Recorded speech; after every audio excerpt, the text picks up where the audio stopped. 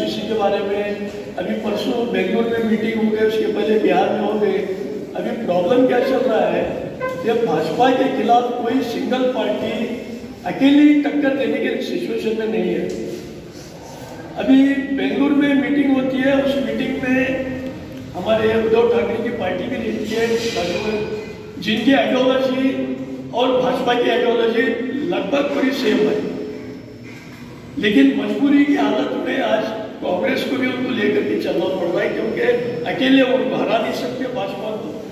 वैसे ही दिल्ली का केजरीवाल, हाल ही में उन्होंने यूसीसी के बारे में कहा कि हम जो है यूसीसी को सपोर्ट करेंगे। उद्धव ठाकरे ने कहा, अब रहा नीतीश कुमार अभी इधर आए हैं, लालू प्रसाद कमिटेड है, हमेशा सेक्युलर तो कहने का मतलब है मेरे दोस्तों, हालात बहुत खराब है। हम लोगों को आज ही देखिए टिस्टा स्टीलवर्ट बिचारी जो गुजरात वाइट्स के मामले को लेकर के पूरी अपनी ज़िंदगी डाउन पेज पे लगा के जब वो मजलूमों के लिए लड़ रही थी तो कोर्ट ने, गुजरात की कोर्ट ने उसी पर चार्ज लगाकर उसे बेल नहीं दे के उसको अरेस्ट किए। फिर आज सुप्रीम कोर्ट ने उसको परमानेंट बेल अलॉट किया। तो ये जुडिशरी मैटर चलता रहेगा। लेकिन इनकी साजिश है, जो हमारे मदद के लिए भी आएगा तो उसको नहीं बचेंगे मुसलमानों के मदद के लिए अगर कोई नेता या कोई वकील भी आता है तो उसे वो टारगेट करते हैं। जैसा संजीव भट्ट, जो आई ऑफिसर है, गुजरात के होगा आज वो बेचारा कोई बुला के बगैर जेल में पड़ा हुआ है। तो दोस्तों, कहने का मतलब है कि ये यूसीसी जो है, ये किसी भी हालत में हम इसको एक्सेप्ट नहीं कर सकते। पहला ये मुझे आपको तय करना है। हम रजिस्ट करना है। हम के हमको इसके खिलाफ सिर्फ़ एजुटेशन नहीं है हमको इसके लिए जो कुछ करना है करना है।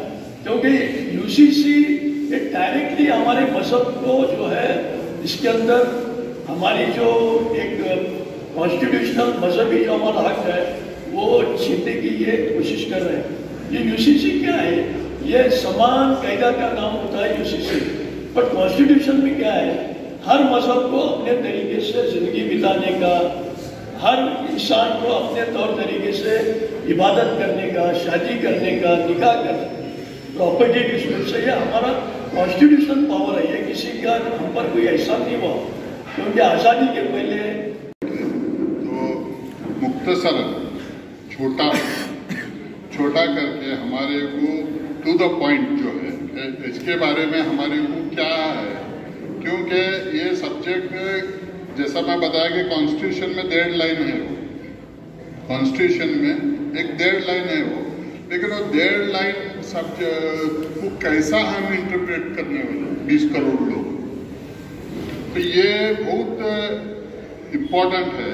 तो मैं चाहता हूँ कि मुख्तसरन जो है पॉइंट टू पॉइंट ये अभी हमारे मुल्ला साहब थोड़ा बोले थे, हमारे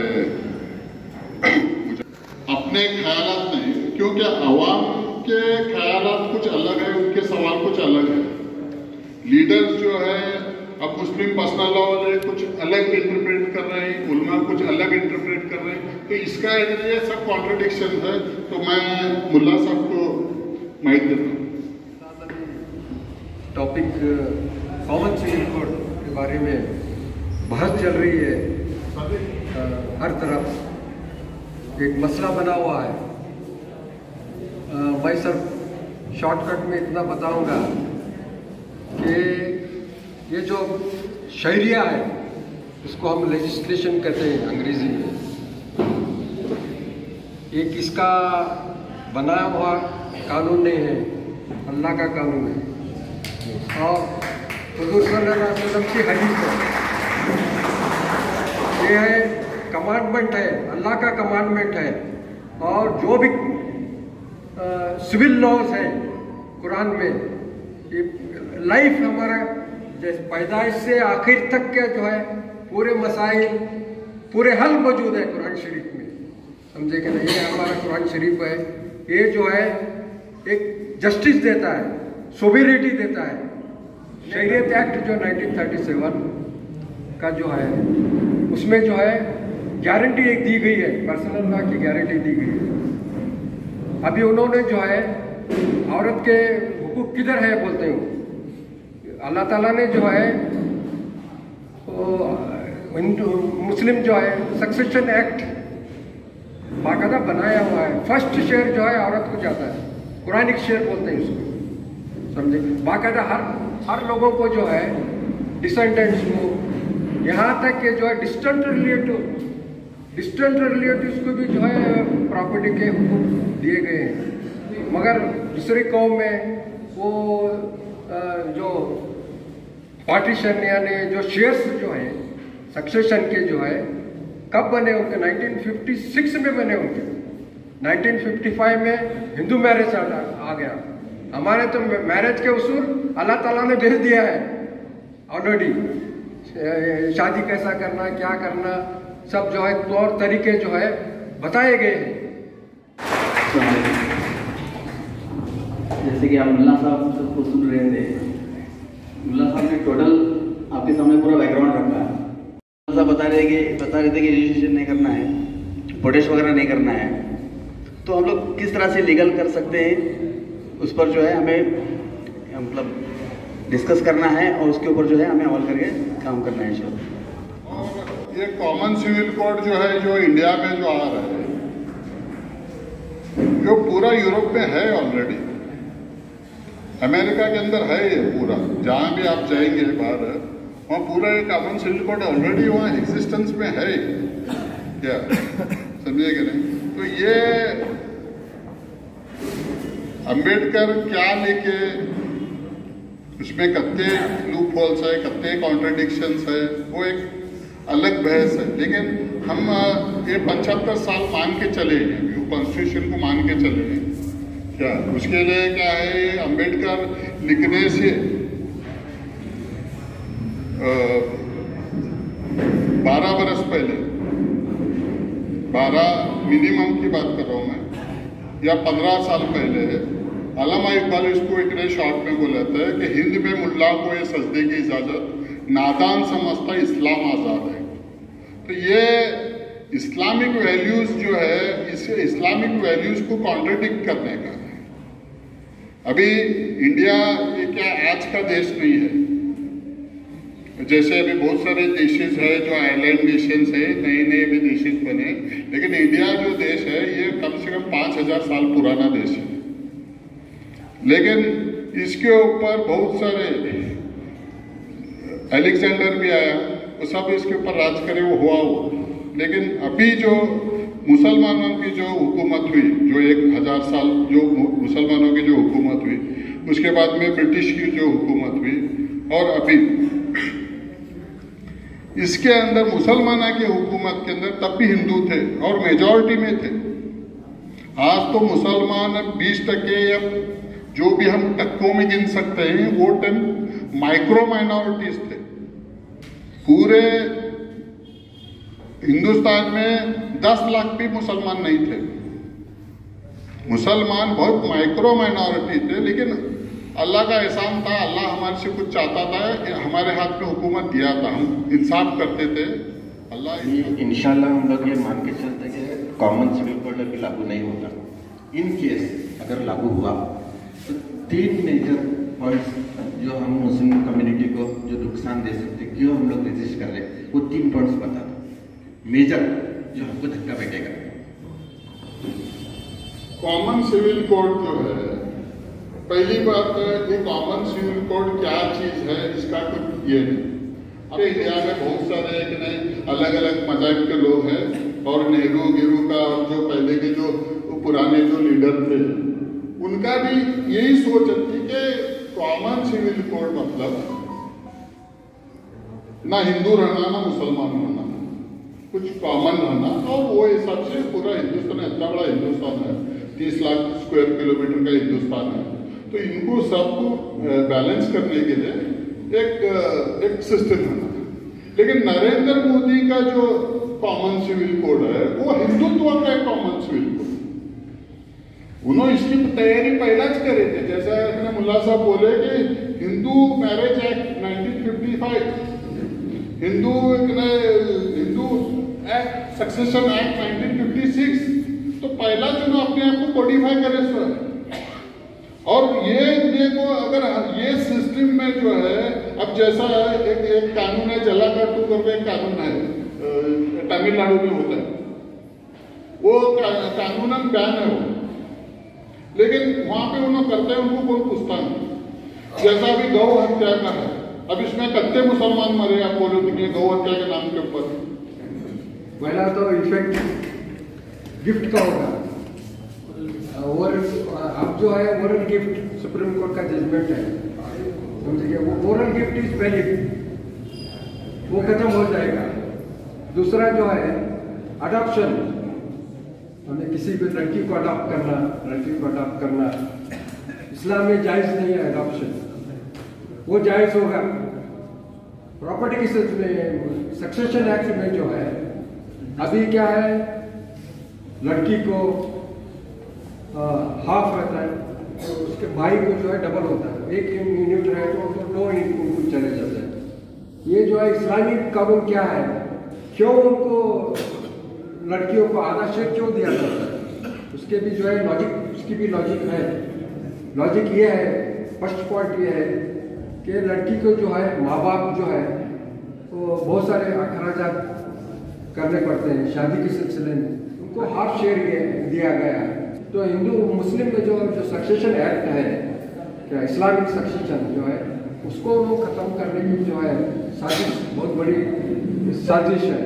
गोवा के अंदर एप्लीकेबल है और गोवा के मुसलमान, खुद मुसलमान जो है उन्होंने जो है अपने हमारे जो बेटे हैं, हमारे जो बहना हैं, हमारे जो बच्चे हैं उन्हें खुद बोलता है कि, ये नहीं, वो शरीयत के हम नहीं मानते, हमारे को इक्वल जो होना कर को बोलता है। तो ये इससे एक प्रॉपर्टी से, स्थिति से हमारे इससे कुछ, हमारे लोगों का एक नहीं कुछ ज़्यादा ये नहीं है। ये जो खबरिस्तान जो कैंसिल होने वाला है, इससे हमारे को बहुत बड़ा प्रॉब्लम होने वाला है।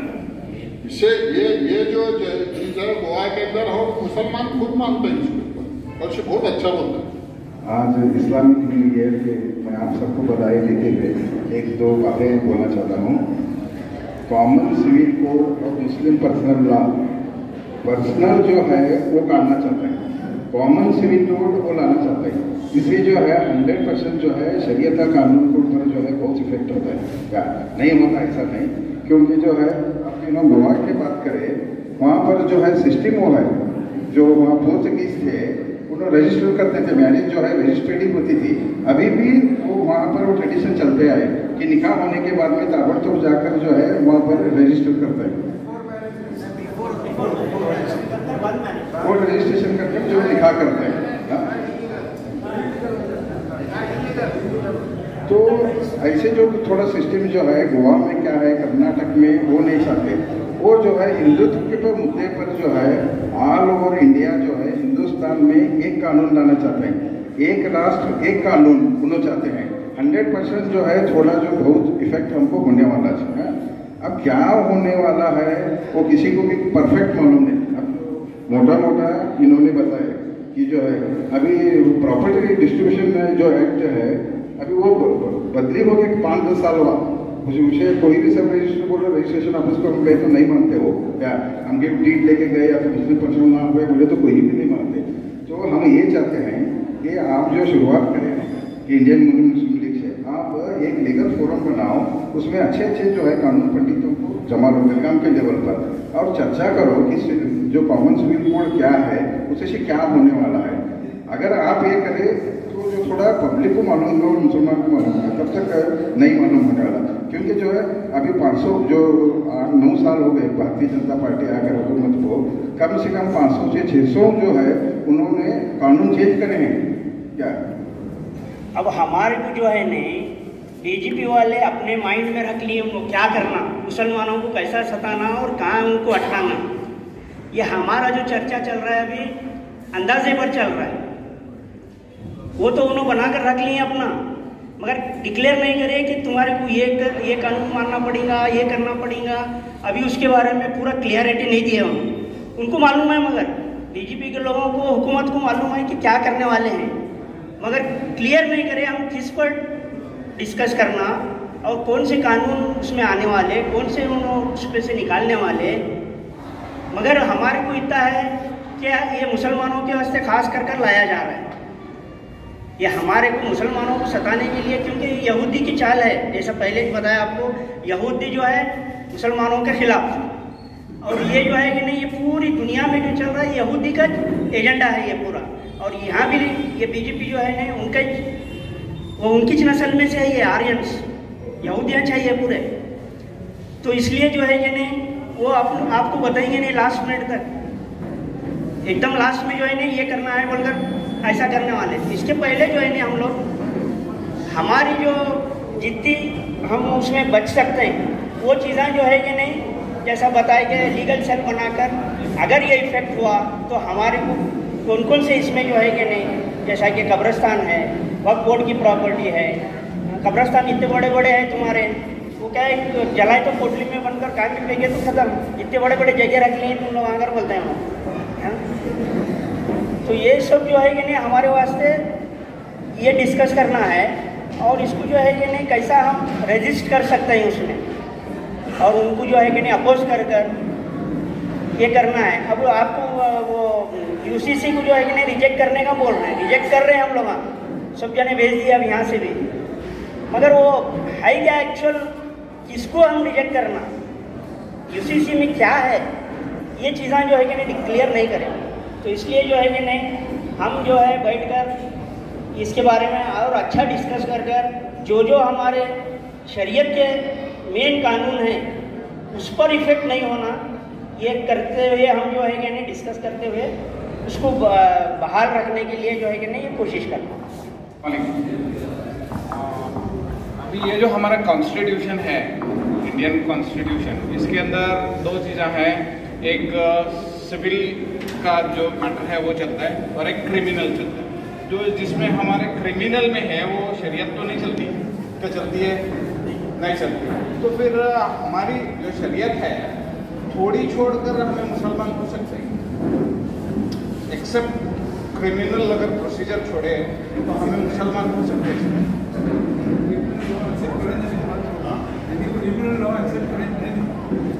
कर चुके हैं। जीना जीना जीना फिर जबर का अलग है, कानून। जीना का अलग है और शादीशुदा के वास्ते अलग है। संसार वगैरह उसके अंदर हमारे को सजा है। तो आदि शरीयत हमें कबूल कर रहे हैं। आदि शरीयत छोड़ रहे हैं। ऐसा भी हमें पहला से करते हैं आज़ादी के बाद में। तो अभी और ज़रा करते तो कैसा है? और हमें पूरी तरह मुसलमान है क्या? मैं पूछना चाहूँगा।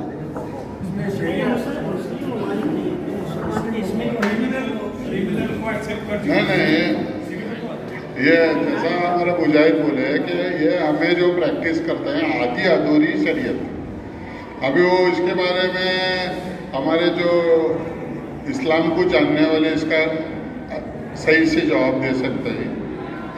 लेकिन आधा कलमा पढ़े जैसा है इसका इसका मतलब। हाँ? आधा कलमा पढ़े तो क्या होने वाला?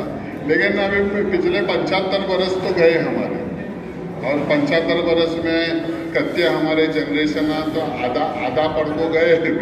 हाँ कत्ते जने कब्रिस्तान को गए भी। हाँ तो हमें अभी क्या करना है? क्योंकि अभी ये आदेश ही पूरा करने की बात आ रही है। आदेश ही पूरा करने की बात आ रही है तो पूरे को कैसा अगर हमें रोक सकते हैं? पहले आज का जो प्रोग्राम है अलहमदिल्ला इस्लामिक नए साल की मुबारकबादी तो आप तमाम को जो है नया साल मुबारक हो, इसलिए नया साल।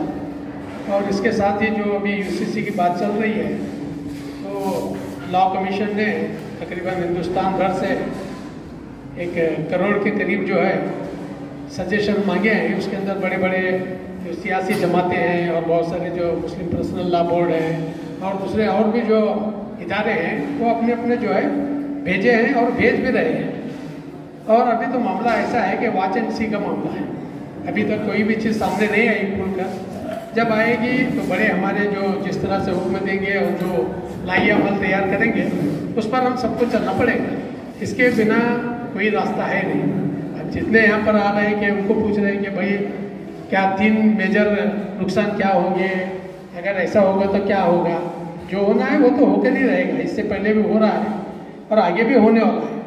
लेकिन उसके लिए तैयारी ये है कि हमें अपने आप को प्रिपरेशन करना, तैयार रखना कि जो भी हमारे बड़े बताएँगे, जो भी सामने लाई अमल आएगा, उसके मुताबिक चलकर अमल करेंगे। तो इंशाल्लाह कुछ तो कुछ रास्ता निकलेगा। इसके बिना कोई हल सामने अभी फ़िलहाल तो नज़र नहीं आ रहा है, क्योंकि तमाम चीज़ें मकवी हैं, वो भी कुछ नहीं बता रहे और जो सजेशन जा रहे हैं, वो प्री तैयार किए हुए हैं और सब भेज रहे हैं। लेकिन जैसा हमारे लोधी साहब बताए कि उनके दिमाग में है कि मुसलमानों पर ये चीज़ें हमें लादना है। तो जब लादेंगे, उस वक्त जो है, देखा जाएगा, बस यही मेरी राय उठ के अब इस्तेहा का कुछ और ही अंदाज है।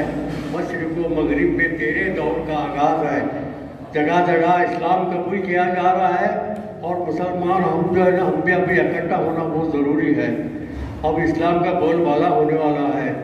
तमाम मुसलमानों से मेरी गुजारिश है कि तमाम तमाम इख्तलाफात को भूल कर सब इकट्ठा हो गए, हो जाए। एक हो जाओ तो बन सकते हो खुर्शीद मुबीन। वर इन बिखरे हुए तारों पे क्या बात बने? अकाबी रूह जब बेदार होते नौजवानों में, नज़र आती है उनको मंजिलें आसमानों में। आज आज नया साल है, मुहर्रम है। तो इसे मुहर्रम की क्या खसूसियत है? वजह क्या है? हम क्यों मना रहे हैं मुहर्रम? और पिछले साल की क्या क्या हम पर बीती हुई है, वो हम भूलना नहीं चाहिए। पिछले साल से, चार, पाँच साल से हम टेंशन पे है मुसलमान। तो हमारा भी जो है ना सिवाय है अल्लाह, और रसूल के कोई पुरसान हाल नहीं है। अब रूहानियत की बहुत सख्त ज़रूरत है। अब दिखावा, रियाकारी बहुत हो चुकी। अब जो है ना, हकीकत तो रूह रूह को जला लाना बहुत ज़रूरी है। मेरा एक क्वेश्चन हमारे सलीम साहब साहब से है। सलीम साहब जो हमारे खतीब साहब हैं, हम जो भी आज मुसलमान हैं, हमें जो भी इंडिया के अंदर मुसलमान हैं बीजेपी के खिलाफ हमें वोट दी। क्या बीजेपी के खिलाफ कांग्रेस को हमेशा से तैयार करे, हमेशा से उसके प्रोटेक्शन में आए और उसे चुनकर लाए? ये जो अभी जैसा सलीम साहब क्या बोले कि उद्धव ठाकरे जो उनकी शिवसेना है उन्होंने यूसीसी को सपोर्ट करते हैं। और दूसरे जो पार्टी है, केजरीवाल उन्होंने भी सपोर्ट करते हैं उनको। आज तक लेकिन हमें जिसे कांग्रेस को आज तक जो सपोर्ट करते आए, वो पार्टी खुद भी आज तक यूसीसी के बारे में, आज तक एक खिलाफ है या तो फेवर में है, वो बोलने को तैयार नहीं। ऐसा मैं, मेरी एक रिक्वेस्ट इन सब लोगों से कि कांग्रेस के जितने भी हमारे लोग हैं, क्यों बोले तो हमारे रिप्रेजेंटेटिव्स कांग्रेस से हैं। और हमें जो बोल सकते हैं पार्लियामेंट में बोल सकते हैं, या तो या बेंगलोर में बोल सकते हैं उन्होंने जो है, ये अपने जो मुसलमानों की तरफ़ से ये बात उठाना ज़रूरी है कि तुम्हें, तुम्हारा स्टैंड तो कम से कम क्लियर करो, और हमारे वास्ते जो तकलीफात थी वो उसका क्या तो भी एक सोल्यूशन दो कर ऐसा तो भी बोलना हम मैं बोलता हूँ कि ये हमारे लीडरान जो है जो कांग्रेस के ही उन्होंने ये लेकर जाकर ज़रा हमारी मैसेज ज़रा पार्टी के हाईकमांड तक पहुँचाए तो अच्छा रहेगा। जो बीजेपी का आईटी सेल और हमारे लोग जो ये कैंपेन चलाई सिग्नेचर उसका क्या नहीं नहीं वो वो तो वो तो वो जो कैंपेन जो चलाई कैंपेन चलाना के खिलाफ मैं नहीं। पर्सनली हमें भी सिग्नेचर कैंपेन बहुत चला है सर, और ये अब भी चला रहे हमें इसके पहला है कि पिछले पचास साठ बरस में मुस्लिम लीग कैंपेन चले है हमें खुद भी चला है सर। तो कैंपेन चलाना नहीं, लेकिन इसे ये एक्सपेक्ट करना, ये हमें उम्मीद करना कि इसी लॉ कमीशन के ऊपर हमें कुछ प्रेशर कर सकते हैं। ये एक सरासर बेवकूफ़ी है।